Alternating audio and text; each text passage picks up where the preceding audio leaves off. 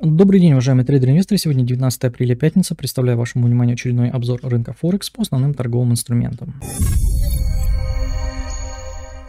Итак, вчера у нас отгремели новости, и они были не, а, не корреляционные. То есть э, пару новостей вышли сильные по баксу, это очень хорошо, но в 17.00 э, вышли слабенькие новости по продажам на вторичном рынке жилья, но все-таки перекос на укрепление американского доллара вчера произошел, и э, в связи с этим есть пару торговых идей, которые мы с вами обсудим на графиках. Поехали.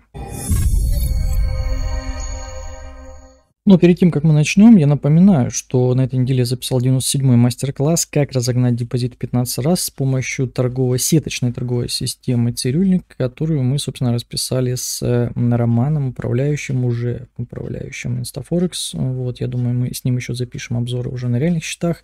В рамках этого торгового метода очень интересные сетки со стопами. Я думаю, что за этим будущее. Ну, а мы приступим к обзору. Поехали. Так, начнем мы с котировочек золота, которые сегодня а, бахнули, бахнули на азиатской сессии наверх и опять сдулись. Это очень хорошая новость для тех, кто пытается продавать, либо продает со стопом за 12 апреля. То есть вот эта большая трехволновая структура, она до сих пор еще, друзья мои, жива. Да, побрили площадку, да, здесь был была вчера возможность продать, вот, но те, кто здесь продавал, выбило их, вот, те, кто работал с большим стопом еще в рынке, и сейчас еще не поздно продавать со стопом за вчерашний день, за сегодняшний день, ну, даже от текущих цен у нас 370 на 600, ну, примерно 2 к 1 здесь можно выкрыжить, да, здесь у нас площадочка интересная, я думаю, она будет э, пробита, это прям такие Э, паттерн называется шок шортистов, когда набрали шортистов, кинули их о стопы. Кстати, здесь был небольшой слом вот здесь вот, и у кого стояли лимитнички, те очень здорово здесь подлохматились. Собственно, вот это движение я ожидаю вниз, ну, сегодня-завтра, не могу сказать, но в любом случае и собственно, снижение обострения иранско-израильского конфликта, я думаю, здесь будет вполне в кассу. Пара евро-доллар. А меня сейчас интересует тоже вниз тоже вниз, э, либо от текущих, э, от слома, который был на американской сессии, либо от слома, который находится чуть выше. В любом случае, вот эта трехволновая структура должна, на мой сугубо некомпетентный взгляд, естественно, закрыться на вот площадке, которая э, у нас образовалась между вчерашним, позавчерашним и, и сегодняшним днем. Вполне себе неплохая идея.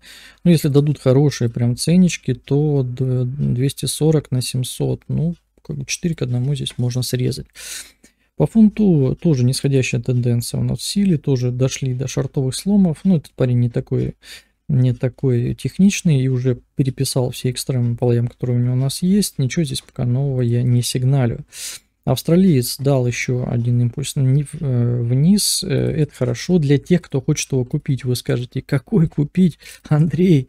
Эм, да, ну вот. Но те, кто работает по сломам, они просто-напросто от, они отмечают сломы. И для тех, кто хочет купить, ближайший слом находится здесь. И если лонговая инициатива пройдет когда-нибудь, да, через 10 лет, и, и пройдет откат на этот уровень, то здесь будет хорошая точка для покупок. Вы просто чертите вот такую карту сломов и ждете, когда она отработается. Вполне себе может получиться.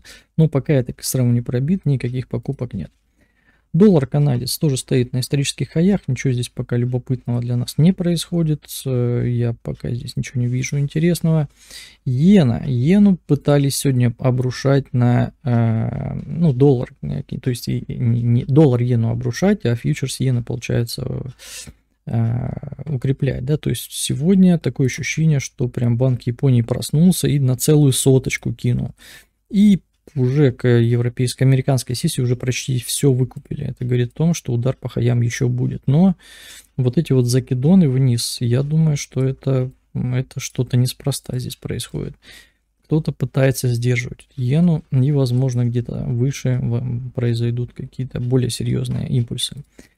А, нефтяночка, обратите внимание, какую шикарную трешку рисует нефть. Э, то есть был уровень, мы его пробили, откатили и падаем дальше. Очень любопытно. Напоминаю, что старая древняя площадка в районе 80 долларов за баррель американской нефти осталась здесь. Напоминаю, что войны, войны ближневосточной новой пока удалось избежать, вполне нефтяные котировочки могут сдуться не только на этот уровень, но и на вот этот тоже сюда под 75, будьте внимательны. Биткоин, биткоин настучал площадку, не хочет, не хочет ее пробивать, но это значит, что у вас есть хороший повод поискать продажи именно в эту зону, которая называется 59-155. Хорошее место, присмотритесь. Так, что касается индексов.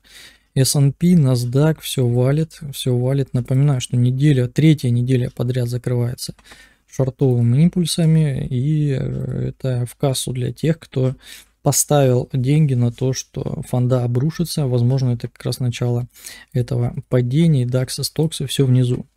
А газик, газик пока стоит дорого. Вот, буду ждать начала месяца. Если будет ниже полторашечки, буду набирать сетку. Так, доллар-франк откупают, вот, и через, напоминаю, с доллар-франка дальше меня интересует сеточный метод торговли, через 2000 пунктов можно набирать этот инструмент в шорты в рамках сеточного метода торговли на пробое октябрьского важного экстремума. Канадец Франк тоже, тоже откупался. Напоминаю, что вот эта площадка есть, и вполне этот инструмент может доползти сюда, и либо вы работаете на повышение, либо вы в этой зоне набираете сетку лимитных продаж, когда инструмент здесь пропишется. Канадец Иена при пробое вершины текущего месяца можно продолжать набирать его шагом не менее а, 1000 пунктов. Инструмент залетный, профит гигантский, будет на уровне 104 Надеюсь, Банк Японии не, не подведет. У Франк Иена та же самая история. Cat подваливает. Будем подбирать его внизу. Шаг не менее э, 1000 пунктов. Новозеландец Франк тоже подваливает. Но, напоминаю, ставил площадку. И как бы это не, не был тест этого слома. Но в любом случае меня интересуют только лонги, лонги ниже low текущего года. Австралиец, новозеландец жду повыше, э, будем набирать сетку лимитных продаж через 2000 пунктов. Еврокат, еврокат начинает съеживаться, обратите внимание, он прям заходит как пружины в треугольник. Я очень надеюсь, что эта пружина выстрелит через верх. Еврофранк э, сегодня такой пин-бар по тренду будет, я так понимаю, но набирать мы шорты будем гораздо выше надо немного потерпеть. Ну и евро Ауди будем набирать выше 23 года, шаг не менее 1000, осталось не так уж и много. Ну и на закусочку наш любимый сильверок пока тупит, вот, но под 29 130 давал, даже 200. Я думаю, что после какой-нибудь небольшой коррекции э, тридцаточку мы увидим. Давайте посмотрим ответы на вопросы на YouTube канале по вчерашнему видео. Поехали. 5 комментариев благодарю, с методом романа знаком, золото по нему идет. Э, если, кстати, скутер Xforms, э, напишите у нас в телеграм-чате э, ваши, ваши мнения на этот счет, что, какие настройки по золоту и так далее. В нашем телеграм-чате мы обсуждаем настройки, в том числе и этой торговой стратегии. На этом на сегодня у меня все. Понравилось видео, ставьте лайк, пишите комментарии и до встречи в понедельник утром на очередном обзоре рынка Форекс. Всем пока!